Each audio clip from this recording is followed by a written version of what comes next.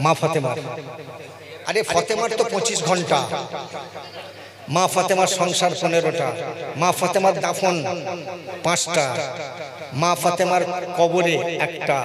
মা ফাতেমার চাদর তিনটে।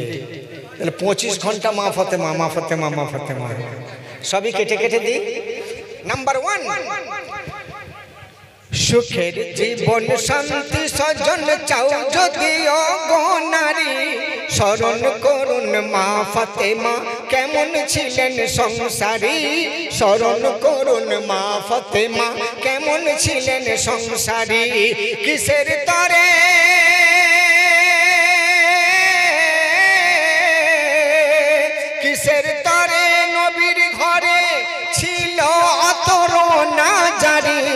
স্মরণ করুন মা ফাতেমা, কেমন ছিলেন সংসারী? স্মরণ করুন মা ফাতেমা, কেমন ছিলেন সংসারী? সুখের জীবন শান্তি স্বজন চাও যদি অগনারী স্মরণ করুন মা ফাতেমা, কেমন ছিলেন সংসারী? স্মরণ করুন মা ফাতেমা, কেমন? নাম্বার টু ঈর্ষা করে নবীর ঘরে আম্মা বেটিতে। ওগো ঈর্ষা করে নবীর ঘরে আম্মা বেটিতে। কাহার আগে কে যাবে ওই খুদার জান্নাতে? কাহার আগে কে যাবে ওই খুদার জান্নাতে?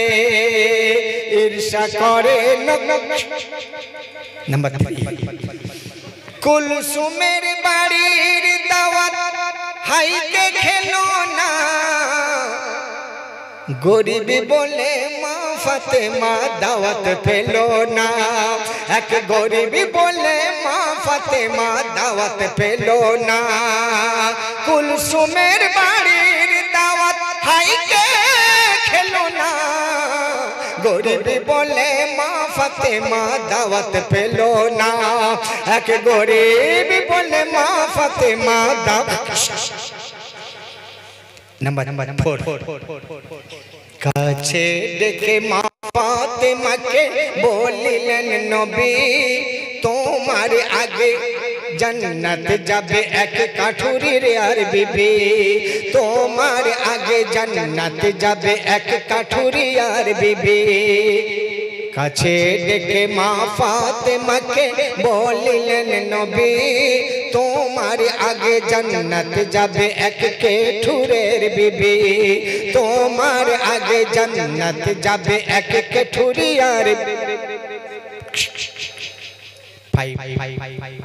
এক সওয়ালি সওয়াল করে, এসে নবীর দরবারে দুশো দিনার চাই গো আমার কন্যার বিয়ের তরে, কন্যার বিয়ের তরে। ইয়ারা সুনাল্লাহ হাবিবাল্লাহ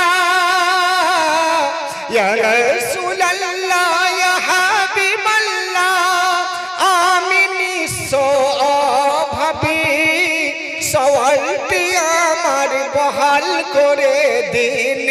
तो अपनी तो अल्लाह नबी अपनी तो अल्लाह আল্লাহর নবী আপনি তো আল্লাহ নাম্বার সিক্স রোজা জানের ইবাদত রোজা মালের ইবাদত রোজা আল্লাহ দেওয়ানি আমত গো এতে রহমত বরকত মগফিরাত গো এতে রহমত বরকত মগফিরাত গো রোজা জানের ইবাদত রোজা মালের ইবাদত রোজা আল্লাহ দেওয়ানি আমত গো, এতে রহমত বরকত মগফিরাত গো, এতে রহমত বরকত মগ এ ফতেমার সংসার বলতে বলতে পনেরোটা। অনেক সময় চলে যাবে, জ্ঞানী বিচক্ষণ ভাইয়েরা ভাবছে, এতে আমাদের কি লাভ হচ্ছে? সেজন্য এটাকে এখানে শান্ত করলাম ক্লান্ত করলাম স্টপ করলাম ভাইরা যখন গজল এতই আপনারা ভালোবাসেন তাহলে আপনাদেরকে সঙ্গে করে নিয়ে আর এক নসিহত ভরা গজল গাইবো। কে কে শুনতে রাজি আছেন হাত তুলুন। আমি হাতগুলো গুনবো। হাত তুলে রাখুন তুলে গুনবো তো। আর ইউটিউবার ভাইয়েরা আপনারা কি একবার চাচ্ছেন না যে আসলাম হাবিবের জলসায় কত লোক হয়েছে? একবার ঘোরাতে পারছেন না ক্যামেরা অনেকে আমি দেখি ঘরে বসে বসে জায়গা ভুলে যাই কোন জায়গায় বলেছিলাম ভুলে যাই কিন্তু ক্যামেরাম্যানের প্রতি রাগ হয়। এত লোক হাত তুলছে ইয়া ইয়া রসুল্লাহ করছে একবারও দেখাল না। এটা মনে মনে হয়। যাই হোক আমার তো কোনো নিজস্ব চ্যানেল নেই। আর আমি ক্যামেরাতে ওসব তুলিও না তুলতেও পারি না। আর কেউ তুললে আমি রাগ করি। আমি তো ইচ্ছা করলে আমার সাথে যারা থাকে তাদের দিয়ে তোলাতে পারি কিন্তু না আমি এর বিরুদ্ধে। আমাকে নিয়ে ভাইয়েরা ব্যবসা করুক। আমি যদি করি নিজে ওদের তো তাহলে কেটে নেওয়া হবে। না, ওরা করুক। আমার মতো অধম পাপি ভাইকে ভালোবেসে ওরা যদি দুটো পয়সা রোজগার করে, করুক না। আমার ওরাও তো আমার ভাই, আমার বন্ধু। সেই হিসাবে আমি এসব নিজে থেকে করি না। যা হোক। তো আমি ভাইজানদের আর একটা নসিহত, পূর্ণ কালাম শোনাবো। আব্বা, মা কি জিনিস? শুনতে রাজি আছেন? শুনতে রাজি আছেন? যতই আপনি যতই পড়ে হও পণ্ডিত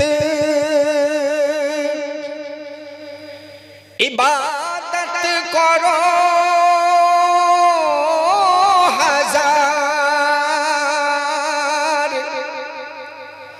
মায়ের সেবা না করিলে সবই তোমার বেকার। সেজন্যই বলব, আব্বাজি মোর কাবার চাদর, আম্মাজি পাক মাদিনা। বলুন সুবহানাল্লাহ। যারা মা বাপকে ভালোবাসেন, হাত তুলে বলুন সুবহানাল্লাহ। যারা মা বাপের শত্রু, তারা একদম হাত তুলবেন না, সুবহানাল্লাহ বলবেন না। কোন কথার উপরে? আব্বাজি মোর কাবার চাদর আম্মাজি পাকে মদিনা। আহা মৌলানা সাহেব আব্বা মাকে খুবই ভালোবাসে। তা মৌলানা সাহেবের মতো আমাদেরও ভালোবাসার আল্লাহ তৌফিক দান করুন, বলুন, আমিন। আব্বাজি মোর কাবার চাদর আম্মাজি পাকে মদিনা। আব্বাজি মোর কাবার চাদর আম্মাজি পাকে মদিনা। কমিটির লোক ভেবে নিয়েছে। আসলাম হাবিব, এখন ছাড়বে না। কি হবে এই কালো পলে থিনে বাঁধা মূল্যবান খানা? কে আর খাবে?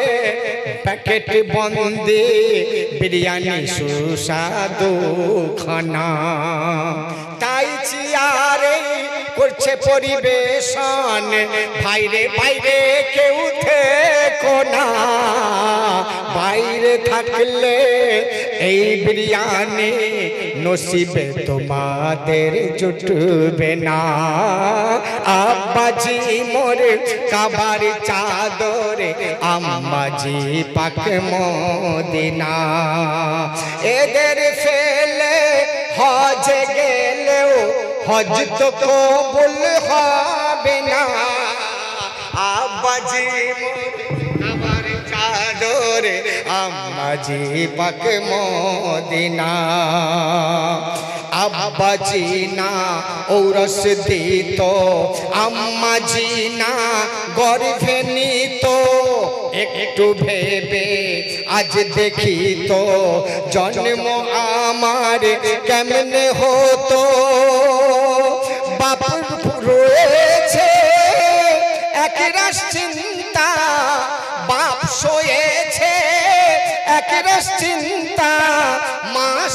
শোয়েছে জ্বালা যন্ত্রণা। আব্বাজি মোরে কাবার চাদর, আম্মাজি পাক মদিনা। আব্বাজি মোরে কাবার চাদর, আম্মাজি পাক মদিনা। আজকের সভায় মনে পড়ে যায়, বাইজিদ বস্তাম বিকে জানে গো সবাই। হজতে গেছে মুরাকাবাই আছে। পাক বেনিয়াজ জানিয়ে দিয়েছে, চলেছে যারা কাবার ধুলে, চুমেছে যারা কাবার ধুল। একজন ছাড়া সবার হজ কবুল। বাইজিদ পালে খুদা সে কঞ্জনা। আব্বাজি মোরে কাবার চাদর একজনের হজ কবুল হয়নি, বাকি সকলের হজ কবুল হয়েছে। বাইজিদ বুস্তাম দেখে আল্লাহ যখন মোরাকাবাই এটা জানিয়েছে, বাইজিদ বুস্তাম জিজ্ঞাসা করছে, আল্লাহ, কার হজ কবুল হয়নি মাবুদ তার নামটা একটু বলো, তার পরিচয়টা একটু বলো। বলো মাবুদ সে কোন ব্যক্তি? তখন আল্লাহ বলছে, দেখতে যদি চাও নজরে, যাও চলে অমুক পাহাড়ে। তার নাম কি আল্লাহ? জীর্ণ শরীর, চোখ লাল রাঙা, হাত ও পায়ের হাড্ডি ভাঙা। বড় আজবি এই ঘটনা করুন, নামটি তাহার মোহাম্মদ বিন হারুন। বড় আজবি এই করুণা, বড় আজবি এই ঘটনা করুন, নামটি হয় বিন হারুন সে কোথায় থাকে আল্লাহ? আরে বলক শহরে তার ঠিকানা। আব্বাজি মোরে কাবার চাদর, আম্মাজি পাক মদিনা। আব্বাজি মোরে কাবার চাদর, আম্মাজি পাক মদিনা। এদের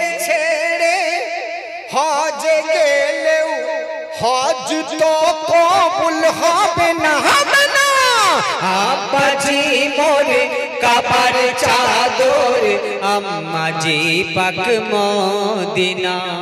পেয়ে পরিচয়, বাইজিদ ছুটে যায়। কোথায়?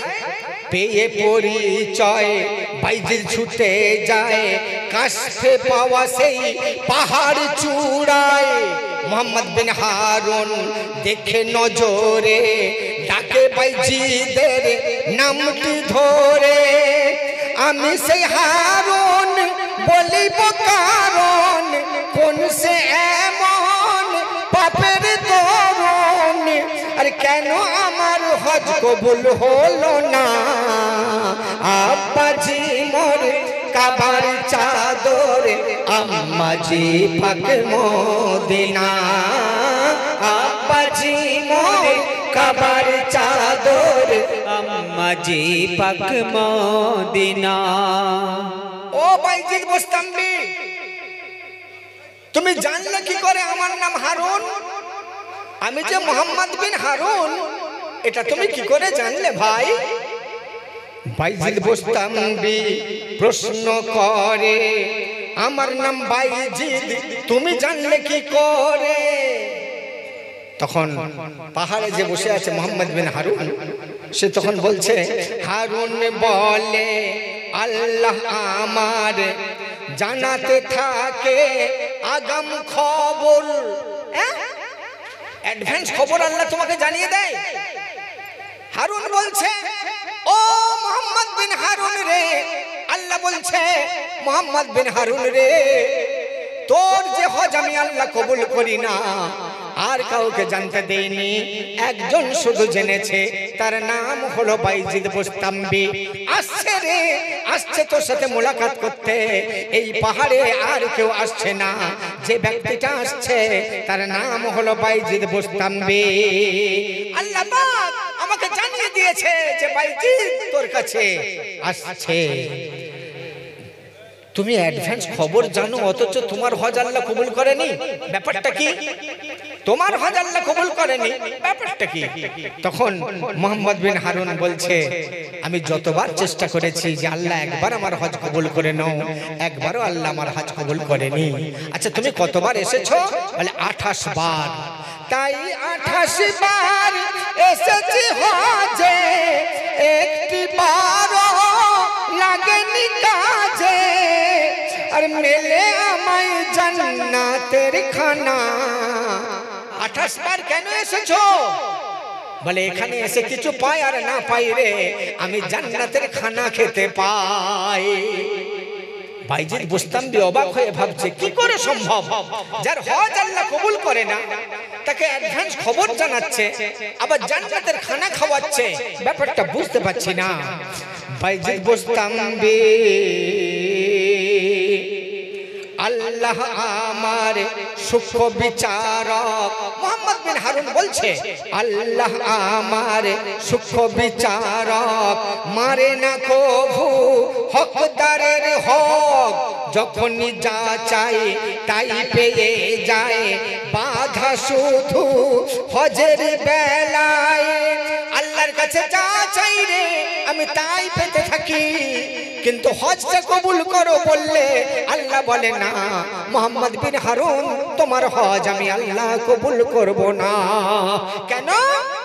এক এক বছর আসে, এক এক ওলি এই বছরে ভাইরে তুই এলি, নিয়ে যা আমার নাম ঠিকানা।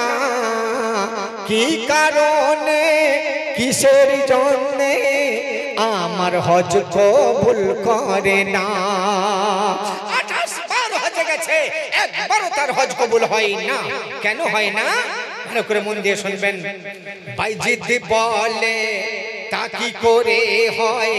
যাহার সাথে খুদার কথা হয়, তার প্রতি খুদা কত না সহায়, জান্নাতের খানা দুনিয়াতে খায় হারুন বলে, বাইজিদ শোনো না, করেছি আমি এমন এক গুণা যে গুনার নাই কভু মার জনা আল্লাহ আব্বাজি মোর কবর চাদর, আম্মাজি পাক মদিনা।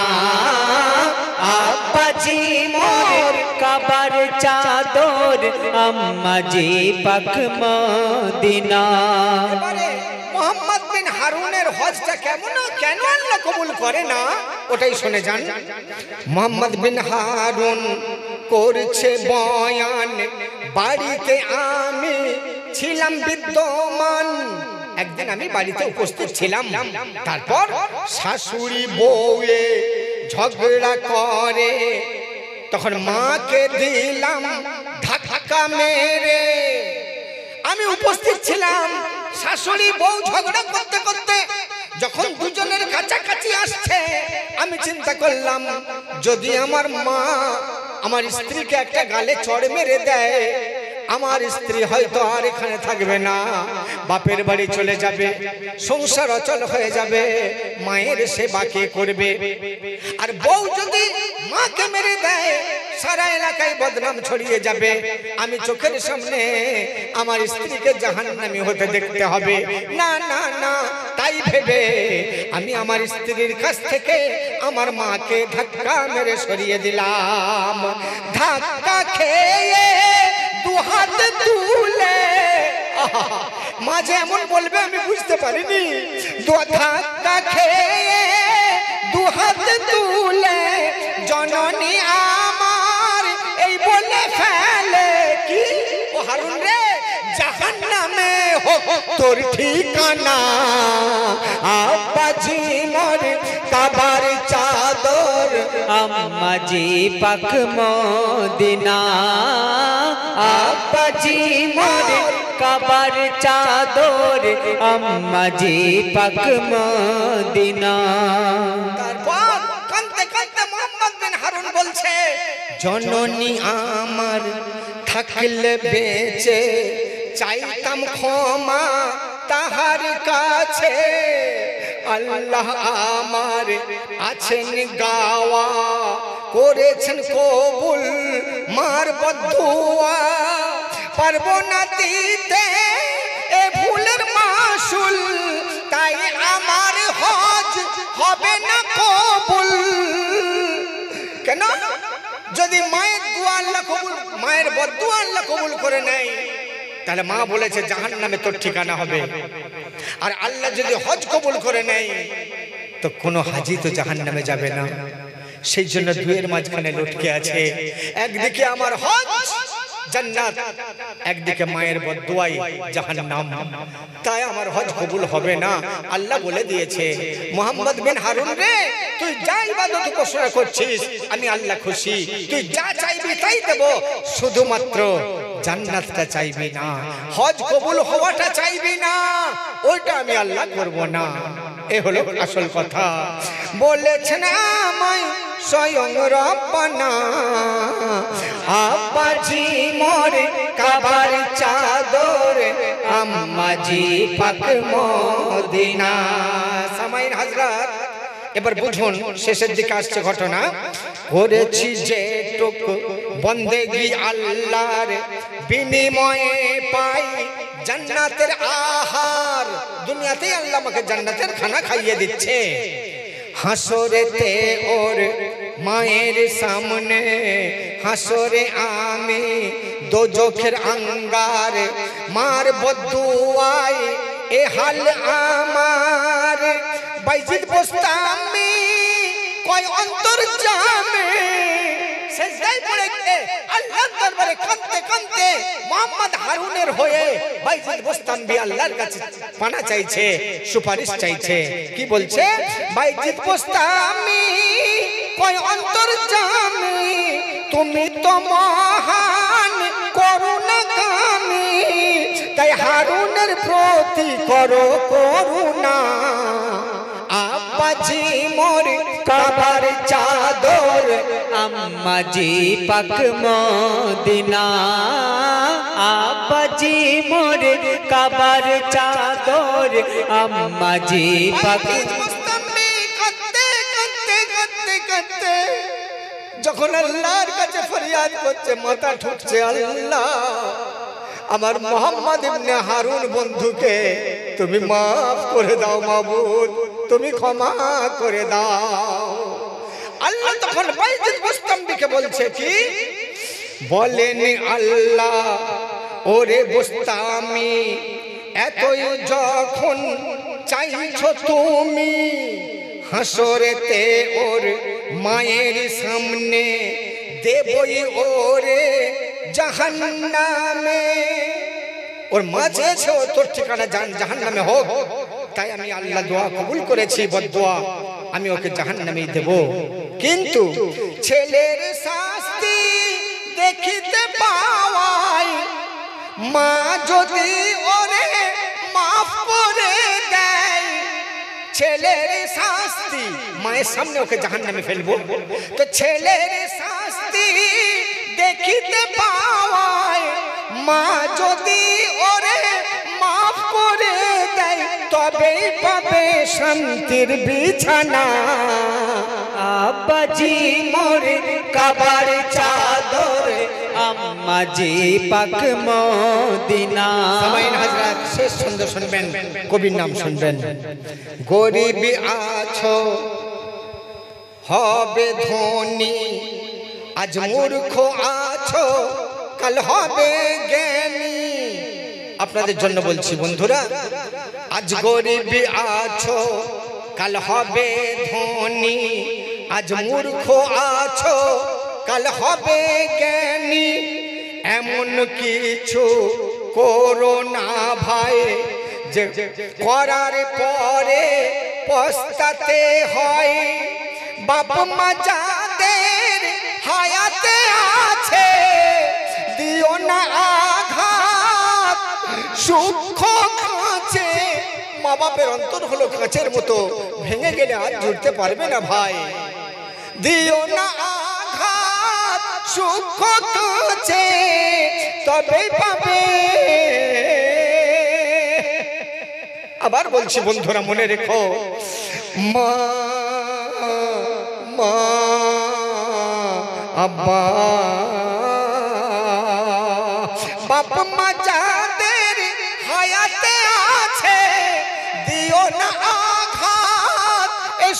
হায়াতে আছে দিও না আঘাত এ সুখ কাছে এমে হাবিব সবে করছি মানা। আব্বাজি মোরে কাবার চাদর, আম্মাজি পাক মদিনা।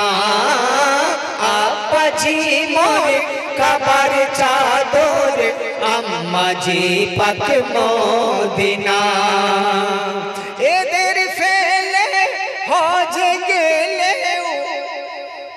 হজ তো কবুল হবে না। আব্বাজি মোরে কাবার চাদর, আম্মাজি পাক মদিনা। আপাতত শেষ করে বন্ধু, কেননা এটা তো আপনার সাড়ে এগারোটায় শেষ করার কথা। আবু তালেব ভাই বলেছিলেন, কিন্তু তার সম্ভব হলো না টাইম একটু বেশি হয়ে গেল। আসুন আমরা নবী পাকের সালাতে সালাতু সালাম পড়ে নিই। সালাম আলাইকা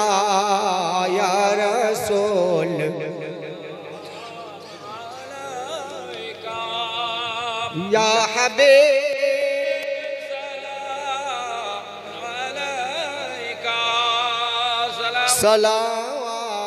الله عليك أشرق البدر علينا واختفت منه البدور مثل حسنك ما رأينا قط يا वजहा शुरू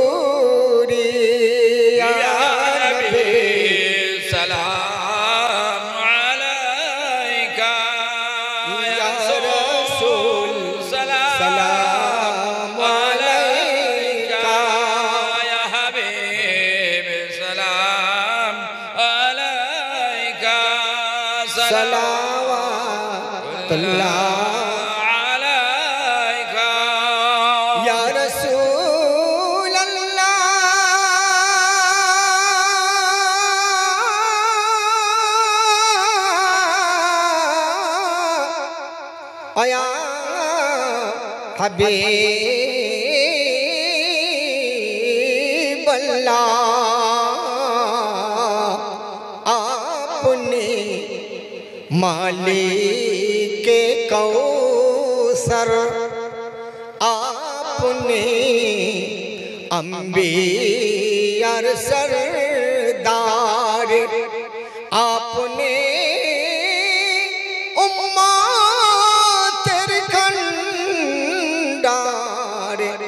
আমাদের করাবেন উ